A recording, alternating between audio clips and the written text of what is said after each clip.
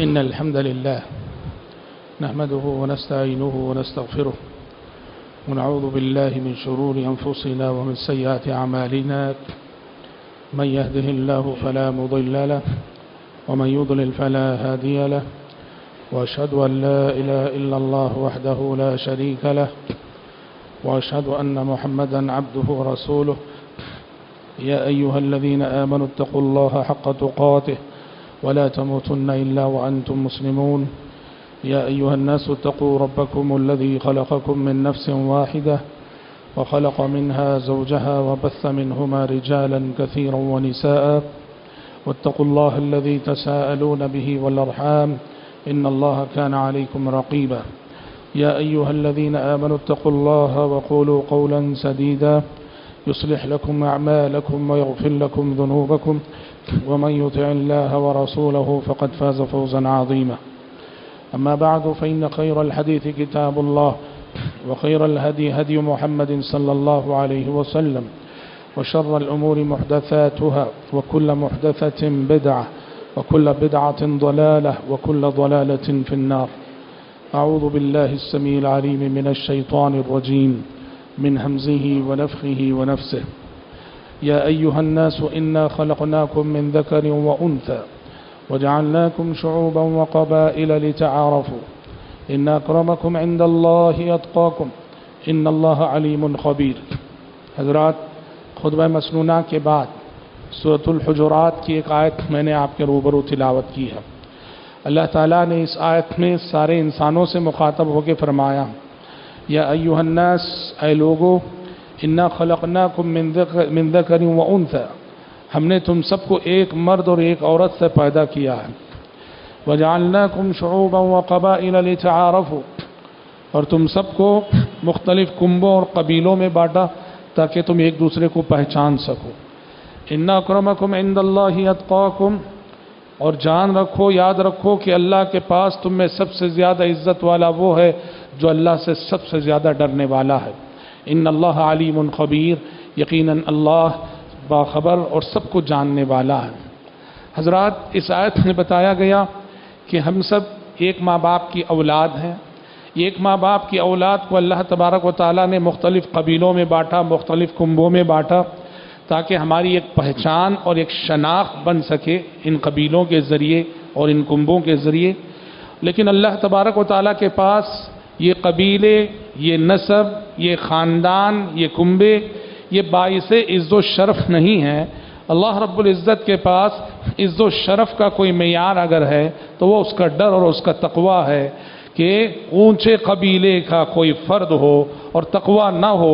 تو اللہ کے پاس اس کی کوئی حیثیت نہیں اور یہ گمنام قبیلے کا غریب فرد ہو اور اس کے دل میں تقوی ہو اللہ رب العزت کے پاس اس کا مقام اور مرتبہ بہت بلند ہے تو کہا ان اکرمکم عند اللہ اتقاکم اللہ رب العالمین کے پاس تم میں سب سے زیادہ عزت والا وہ ہے جس کے دل میں اللہ کا ڈر جتنا زیادہ ہو ان اللہ علیم خبیر یقیناً اللہ سب کو جاننے والا اور باخبر ہے حضرات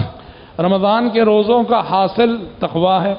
رمضان کے روزوں کا سبق تقویٰ ہے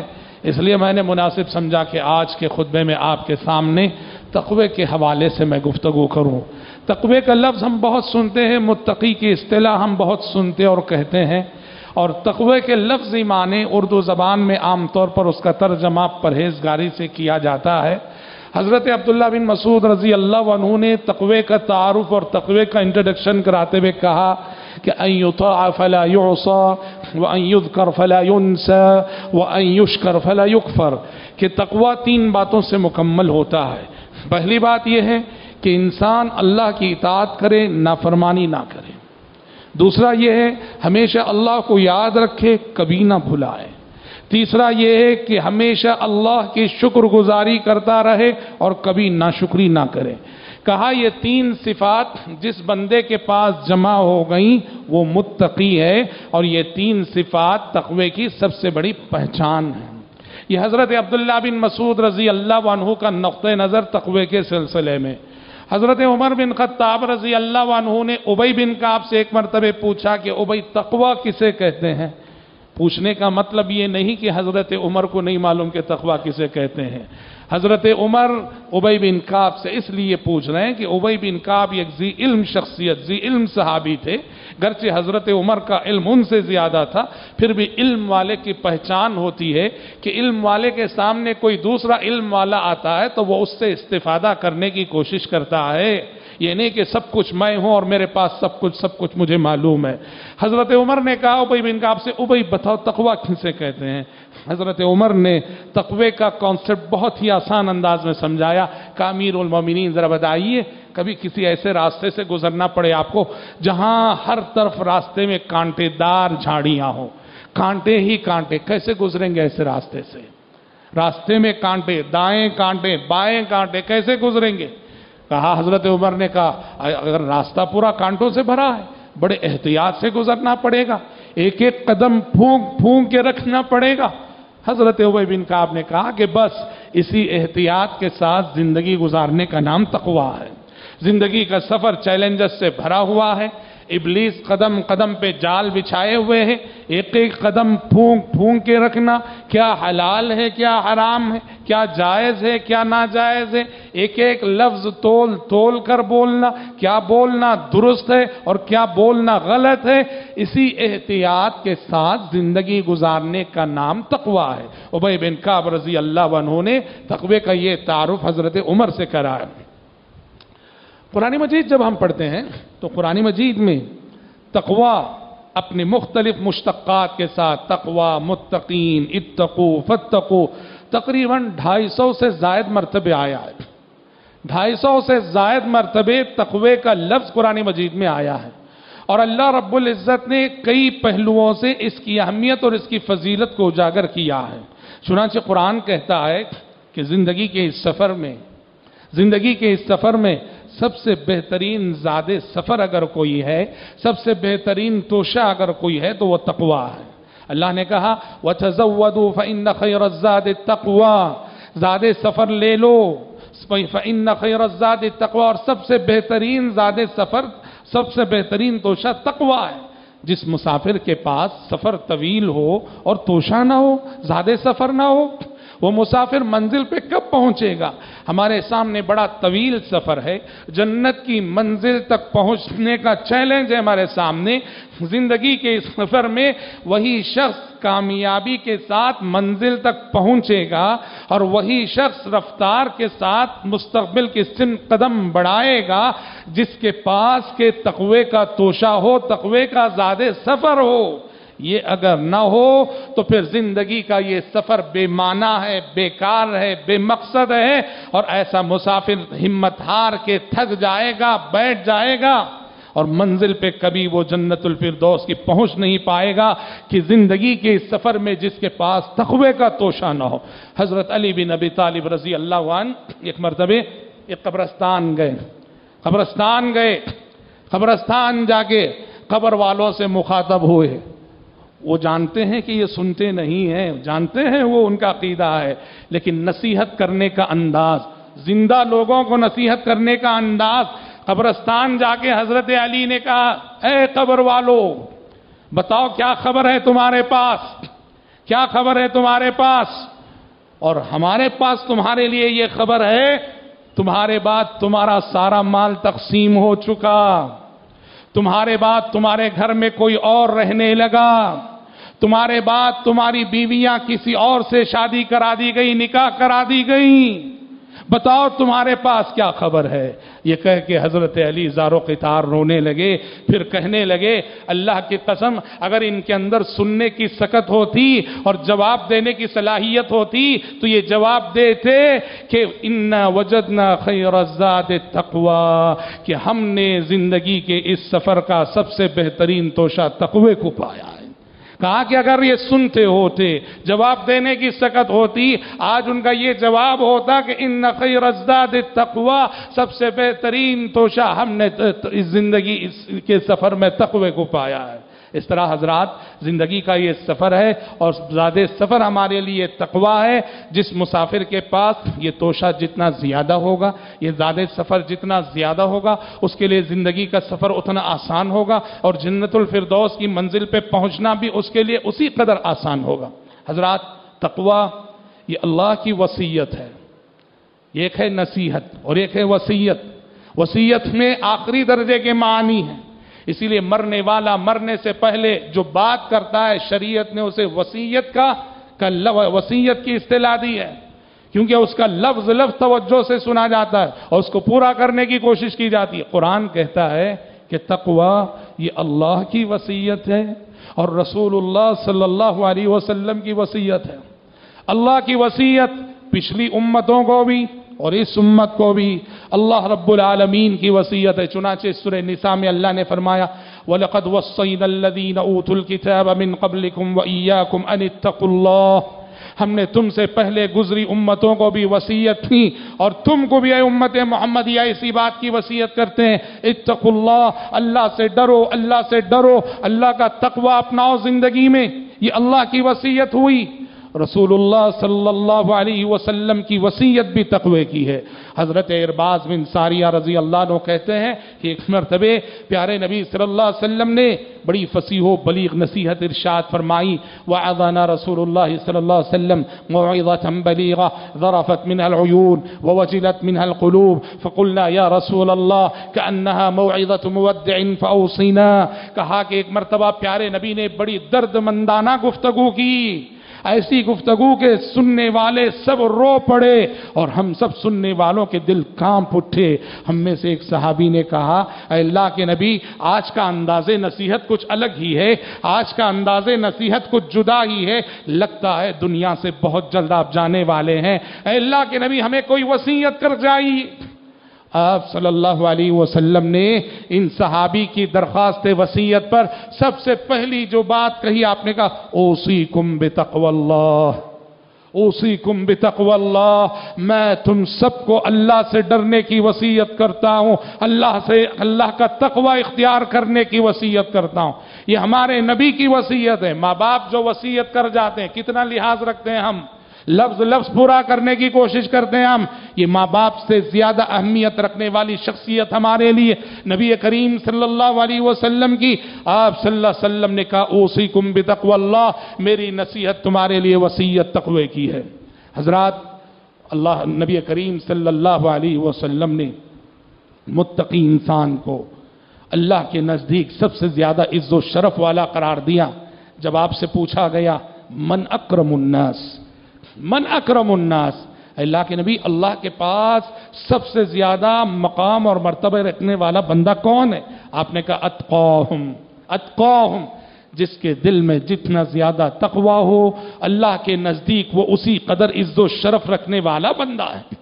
دنیا میں ہم نے عز و شرف کے بہت سارے معیار بنا لیے ہیں ہمارے نزدیک مال معیار عز و شرف ہے ہمارے نزدیک دولت یہ عز و شرف کی پہچان ہے ہمارے نزدیک خاندان برادری عہدہ منصب یاد رکھو یہ سارے جھوٹے معیار ہیں یہ سارے جھوٹے معیار ہیں عز و شرف کا سچا معیار اگر کوئی ہے عز و شرف کی سچی پہچان اگر کوئی چیز ہے تو وہ تقویٰ ہے سچی عزت متقی کو ملے گی اور عز و شرف کا سچا معیار تقویٰ ہے جس کے دل میں اللہ کا جتنا زیادہ ڈر اور تقویٰ ہو وہ اللہ کے نزدیک اسی قدر عز و شرف والا بندہ ہے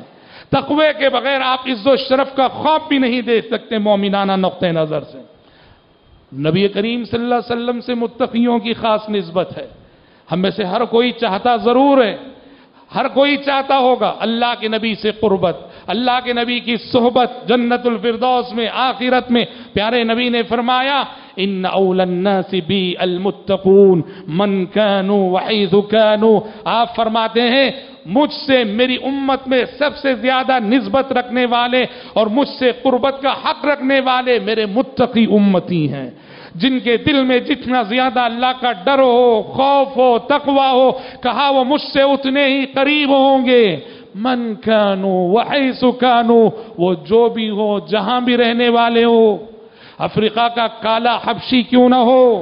افریقہ کا کالا حبشی کیوں نہ ہو کوئی غریب ہو کوئی نادار ہو کوئی گمنام خاندان سے تعلق رکھنے والا کیوں نہ ہو پیارے نبی فرماتے ہیں جس کے دل میں تقوی جتنا زیادہ ہے اور جس کا دل تقوی سے معمور ہے کل روز قیامت جنت الفردوس میں وہ مجھ سے اسی قدر قریب ہوگا اور میری نسبت اور مجھ سے رشتے کا دعویٰ کرنے کا سب سے زیادہ حق ایسے ہی بندے کو حضرات اس زندگی میں تقوی کا بڑا کردار ہے تقوی صرف ایسا نہیں کہ آخرت کی نعمتیں ہمیں دلاتا ہے آپ جو متقی بندہ ہوتا ہے جو تقوی کے ساتھ زندگی گزارتا ہے اللہ رب العزت تقوی کی برکتیں اسے اسی زندگی میں دکھاتا ہے زندگی کی مشکلات کا حل تقوی ہے زندگی کے مسائل کا حل تقوی ہے زندگی کی بیماریوں کے شفا تقوی ہے زندگی کی دشواریوں سے نکلنے کا راستہ تقوی ہے اگر زندگی کے اس سفر میں آپ تقوی کا دامن مضبوطی سے تھامیں گے کبھی آپ ہمت نہیں آریں گے اور کبھی آپ شکست نہیں کھائیں گے پرانی مجید نے پرانی مجید نے دشمنوں کی سازشوں مکاریوں منصوبہ بندیوں کا ذکر کرنے کے بعد کہا تمہارا مخالف یہ سب کچھ سوچ رہا ہے تمہیں نقصان پہنچانے کے لیے تَصْبِرُوا وَتَتَّقُوا لَا يَزُرُّكُمْ كَيْدُهُمْ شَيَا دو چیزیں اگر تمہارے پاس رہیں گی نا دو صفات اگر تمہارے پاس رہیں گی نا تمہارا مخالف تمہارا کچھ بگاڑ نہیں سکتا ہے کہا کیا ہے یہ دو چیزیں ایک ہے صبر اور ایک ہے تقوی وہ تَصْبِرُوا وَتَتَّقُوا اگر تم صبر کرو گے تقوی اگر تم صبر کرو گے تقوی اپنا گے لزر رکم کئی دو ان کی مکاریاں تمہارا کچھ بگاڑ نہیں سکیں گی اس طرح زندگی کے مسائل کا سب سے بہترین حل تقوی سورة طلاق پڑھیے آپ سورة طلاق میں اللہ رب العزت نے تقوی پر اور متقی انسان کو تقوی اپنانے پر پانچ بشارتیں سنائی جو آپ نے سورت کا نام ہی کیا سورت الطلاق میاں بیوی کے مسائل میاں بیوی کے درمیان جو پرابلم ہوتا ہے میاں بیوی کے درمیان جو اختلاف ہوتے ہیں اس صورت میں اللہ نے بار بار تقوی کی نصیحت کرتے ہوئے کہا جو تقوی کو اپنائیں گے اللہ ان کی زندگی کے مسائل کا حل پیدا کرے گا اللہ نے پانچ وعدے کی ہیں سورت الطلاق میں ہر متقی انسان سے پہلا وعدہ کیا وَمَنْ يَتَّقِ اللَّهَ يَجْعَلْ لَهُ مَخْرَجَ اللہ اللہ جو بھی اللہ کا تقوی اپنائے گا اللہ اسے ہر مشکل سے نکلنے کا راستہ دکھائے گا ہر مشکل سے اللہ اسے نکالے گا ایک نہ ایک دن نکالے گا دوسری چیز کہا وَيَرْزُقْهُ مِنْ حَيْثُ لَا يَحْتَسِبْ جو اپنا آئے گا اللہ اسے غیب سے رزق دے گا غیب سے رزق دے گا وہاں سے روزی آئے گی وہم و گمان میں بھی نہ تھا کہ روزی یہاں سے بھی آئے گی جو اپنا آئے گا اس کو اللہ وہاں سے روزی دے گا کہ اس کے وہم و گمان میں بھی یہ بات نہ تھی تیسرا وعدہ يَتَّقِ اللَّهَ يَجْعَلْ لَهُ مِنْ أَمْرِهِ يُسْرًا جو اللہ کا اپنائے اپنا اللہ اس کے معاملات کو آسان کر دے گا ہر مشکل معاملے کو آسان کر دے گا چوتھا وعدہ پانچواں وعدہ يَتَّقِ اللَّهَ يُكَفِّرْ عَنْهُ سَيِّئَاتِهِ لَهُ اجرا جو اللہ کا تقوی اپنائے گا اللہ اس کے گناہوں کو معاف کرے گا اور پانچواں وعدہ وَيُعْضِمْ لَهُ لہو اور ایسے بندے کو اللہ اجر عظیم سے نوازے گا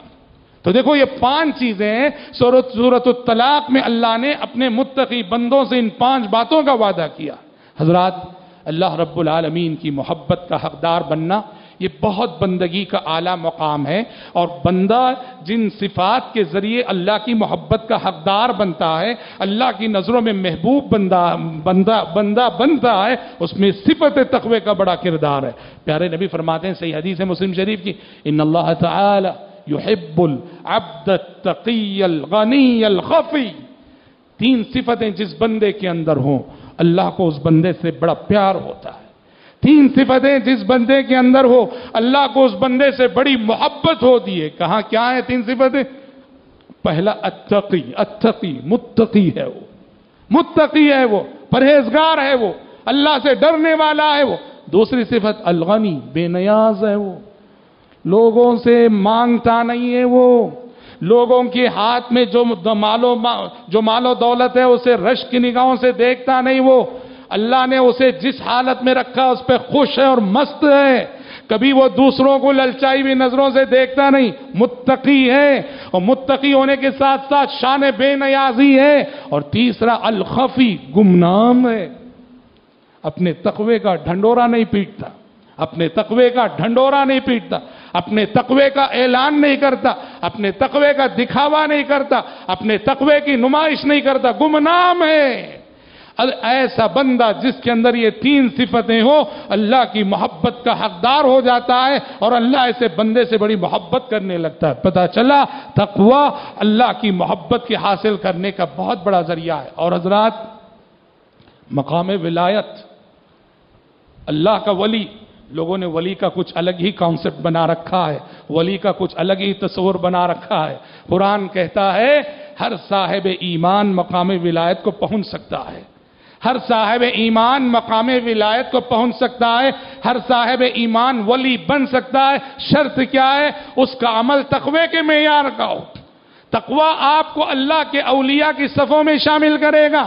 تقوی آپ کو اللہ کا ولی بنائے گا چنانچہ اللہ نے کہا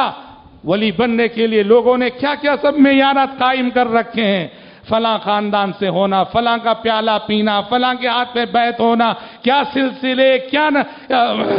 نسبتیں لوگوں نے قائم کر رکھی ہیں شریعت کیا کہتی ہے قرآن کیا کہتا ہے اللہ ان اولیاء اللہ عليهم ولا هم يحزنون الذين آمنوا وكانوا يتقون کہا کہ اللہ کے جو بھی اولیاء ہیں اللہ کے جو بھی ولی ہیں نہ انہیں ڈرنے کی ضرورت ہے نہ انہیں غم کرنے کی ضرورت ہے یہ ولی کون ہے یہ اولیاء کون ہے کہا جس کے اندر بھی دو صفتیں ہوں الذین آمنوا جو ایمان لائے ہوں عقیدے کی دولت ہو توحید کی دولت ہو عقیدہ صحیح ہو اور معیار تقوی کا ہو الذین آمنوا وکانوا یتقون جو ایمان لاتے ہیں اور تقوی اختیار کرتے ہیں تقوی اپناتے ہیں یہ اللہ کے اولیاء ہیں پتا چلا صفت تقوی بندے کو ولایت کے مقام پہ فائز کرتی ہے اور بندے کا شمار اللہ کے اولیاء میں ہوتا ہے پیارے نبی سے پوچھا گیا صلوات اللہ علیہ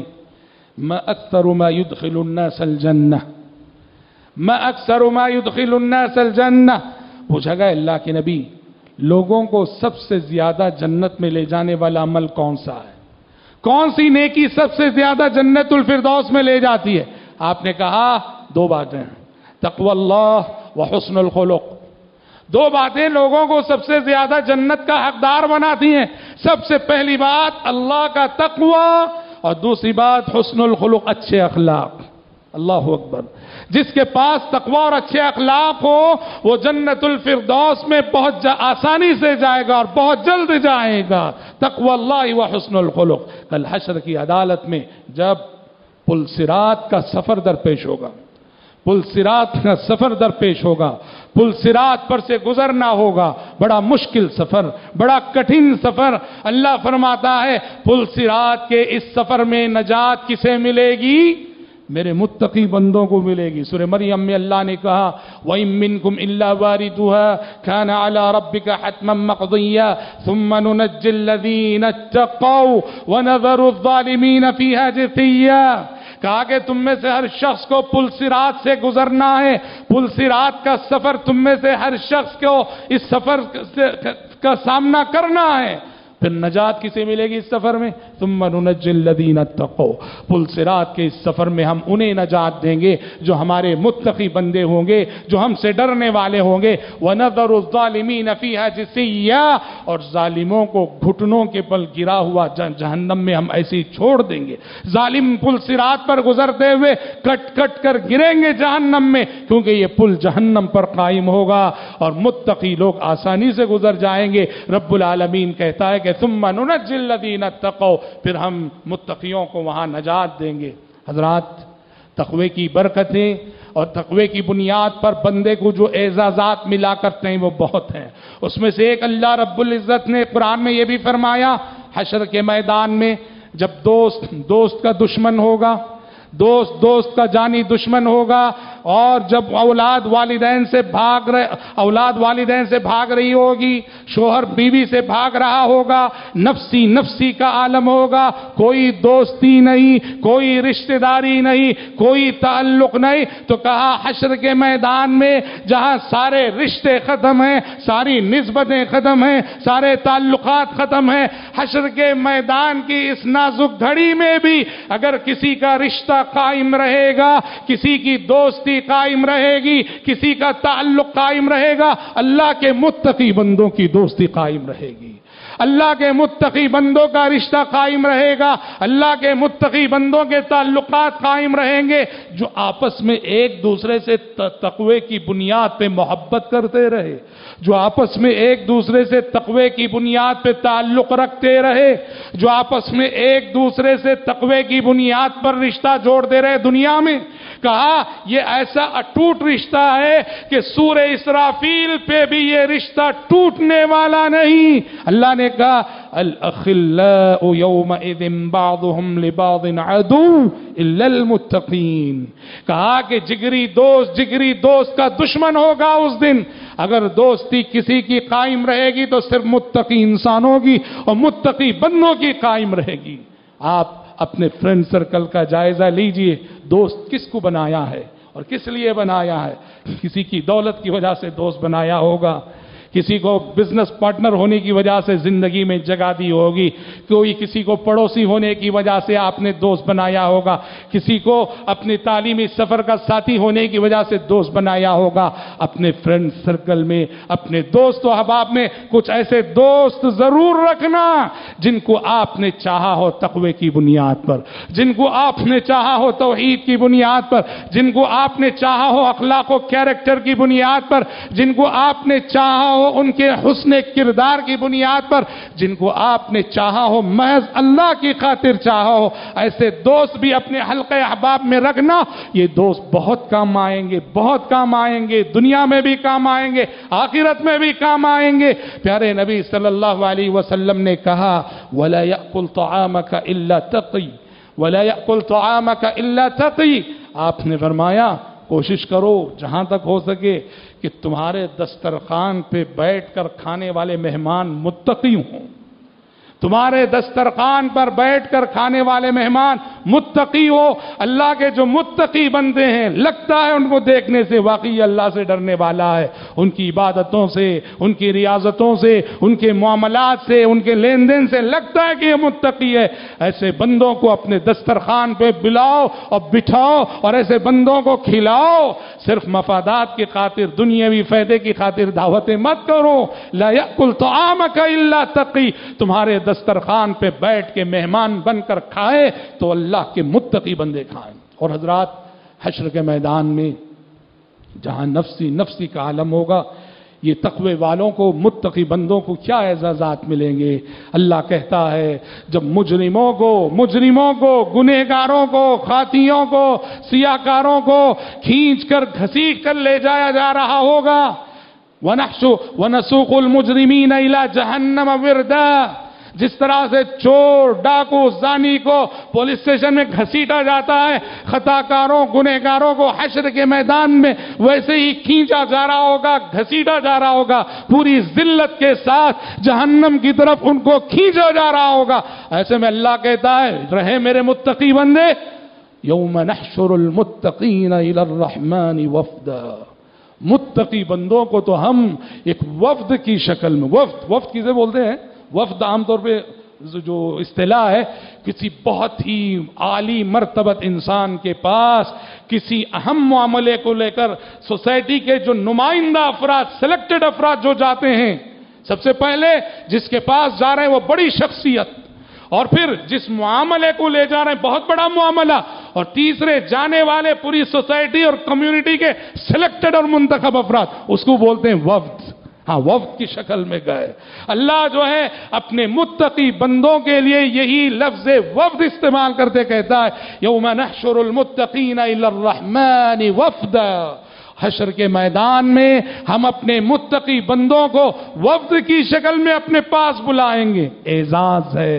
انعام ہے اکرام ہے اور بہت عزت افزائی ہے ایک ایسے وقت میں جب گنہگار خطاکار خطا کار سیاہ کار یہ ذلت سے دوچار ہوں گے اللہ کے متقی بندوں کو یہ انعامات ملیں گے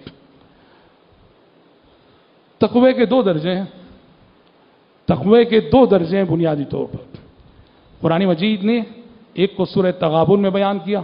اور ایک کو سورہ سور علی عمران میں بیان کیا تقوی دو درجے کا ہوتا ہے پہلا ہے اتقوا الله حق تقات اور دوسرا ہے فاتقوا الله ما استطعتم یہ دو درجے ہیں اتقوا الله حق تقات تقوی کا سب سے اعلی درجہ اور پہلا درجہ کیا ہے آیت تو ہم ہر خطبے میں سنتے ہیں یا ایوہ الذین آمنوا اتقوا الله حق تقاته ولا تموتن الا وانتم مسلمون یہ پہلا درجہ ہے کیا مطلب اے ایمان والو اللہ سے ویسے ڈرو جیسے ڈرنے کا حق ہے تقوی کے پورے پورے تقاضوں پر تم پورے پورے اترو تقوی کے پورے پورے تقاضوں پر تم پورے پورے اترنا ہے تمہیں یہ اتق اللہ حق تقاتی ہی ہے یہ اللہ سے ڈرو جیسے کہ ڈرنے کا حق ہے کہا جاتا ہے یہ آیت جب نازل ہوئی نا پریشان ہو گئے صحابہ صحابہ پریشان ہو گئے پریشانی کا سبب کیا تھا پریشانی کا سبب یہ تھا یہ آیت معمولی تقوی نہیں تقوی کی آخری حد اور تقوی کا جو اعلیٰ معیار ہوتا ہے اس کو اپنانے کی تعلیم دے رہی ہے کہ اللہ سے ڈرنے کے جو تقاضے ہیں ان تقاضوں پر پورے پورے اترا کرو صحابہ ڈر گئے ہم سب بشر ہیں ہم سب انسان ہیں کہیں نہ کہیں ہم سے چوک ہو جاتی ہے ہم سے کوتا ہی ہو جاتی ہے جب صحابہ یہ ڈر گئے پریشان ہو گئے تو کہتے ہیں یہ آیت نازل ہوئی فتح اللہ مست ہاں جہاں تک تمہارا بس چلے وہاں تک اللہ سے ڈرو جہاں تک تمہاری استطاعت ہے اپنی استطاعت کے دائرے میں تو کم سے کم اللہ سے ڈرنا ہے یہ دو درجے ہیں بھائیوں یاد رکھو ایک ہے اتق اللہ حق تقاتی زندگی کے بہت سارے موقعوں پر اور اکثر موقعوں پر کوشش اتق اللہ حق تقاتی ہی کہ تقوی کا جو اعلیٰ سے اعلیٰ معیار ہے اور تقوی کے جو آخری تقاضے وہ پورے کرنے کی کوشش کرنا لیکن بہت سارے معاملات زندگی میں ہمارے اختیار سے باہر ہوتے ہیں ہم کچھ نہیں کر پاتے ہیں وہاں وہاں اتق اللہ مستطاعت ڈرو جتنا تمہارے بس میں ہے تمہاری جتنی استطاعت چھوٹی سی مثال تصویر کا کیا حکم ہے شریعت کے نزدیک شریعت کے نزدیک تصویر حرام ہے شریعت کے نزدیک تصویر حرام ہے وہ تو معلوم ہے لانتیں ہیں وعید سنائی گئی ہے اب اگر کوئی اسے لا کے یہاں فٹ کرے جب تصویر حرام ہے تو یہ جو نوٹ ہم رکھتے ہیں جیب میں رکھنا نوٹ حرام ہے اگر کوئی یوں کہے تصویر حرام ہے اس وجہ سے نوٹ نوٹ میں بھی تصویر ہے فوٹو ہے اس وجہ سے جیب میں رکھنا حرام ہے کوئی یہ فتوہ دے یہ درست یہاں فتق اللہ مستطاعت یہ معاملہ ہماری استطاعت سے باہر کا ہے ہمارے دائرے سے باہر کا ہے یہ مجبوری ہے یہاں سمجھ رہے تو ایسی بات ہے کہ تقوی کے یہ دو درجے ہیں اتق اللہ حق تقاتی اور فتق اللہ کوشش تو اتق اللہ حق تقاتی ہی کی ہونی چاہیے اور جہاں معاملہ ہمارے اختیار سے باہر ہوتا ہے جتنا ہمارا اختیار ہے جتنی ہماری استطاعت ہے جتنا ہمارا بس ہے وہاں تک تو اللہ تبارک و تعالیٰ سے ہم ڈرنے کی کوشش کریں حضرات تقوی ایک ایسی چیز ہے پیارے نبی صلی اللہ علیہ وسلم نے تعلیم دی ہے کہ یہ رب سے مانگ کر لینے کی چیز ہے رب سے مانگ کر لینے کی چیز ہے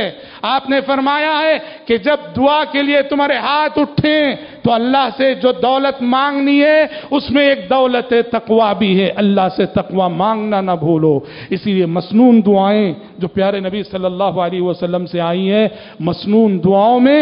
دیکھیں گے آپ تقویٰ بہت مانگتے ہیں اللہ کے اللهم نفسي تقواها وزكها أنت خير من زكاها أنت وليها ومولاها پیارے نبی پیارے نبی صلی اللہ علیہ وسلم یہ دعا پڑھتے اللہم آتی نفسی تقوا اللہ میرے نفس کو اس کا تقوا دے دے وزکیہ انتا خیر من زکاہا اور اسے پاک کر دے اور تجھ سے بہتر میرے نفس کو اور کون پاک کر سکتا ہے انت ولیوہ و مولاہا میرے نفس کا ولی مولا دوست نگہبان محافظ تو ہی ہے اور کبھی آپ صلی اللہ علیہ وسلم ان الفاظ میں اللہ سے تقوی مانگا کرتے تھے اللہم انی اسألوک الہدہ والتقا والعفاف والغنہ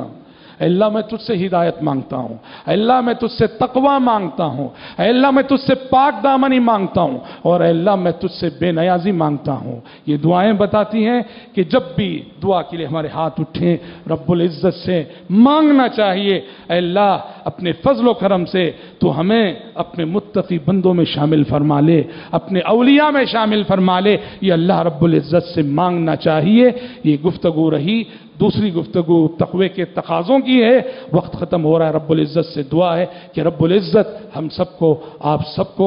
تقوی کی عظیم صفت اپنے اندر پیدا کرنے کی توفیق عطا فرمائے اللہ ہمیں ہمارے سارے فیملی ممبرز کو متقی بنائے رب العالمین اور اللہ ہمیں ان ان خوش نصیب بندوں میں شامل نازل فرمائے جنہیں ان کے تقوی کے سبب اللہ اپنے فضل و کرم سے ایک وفد کی شکل میں حشر کی عدالت میں اعزاز بخشنے والا ہے اللہم امین بارک اللہ بارک اللہ لنا ولکم فی القرآن العظیم ونفعنا ویاکم بما فیہ من الایات والذکر الحکیم انہو تعالی جواد کریم ملکم بر الرعوف الرحیم ورب حلیم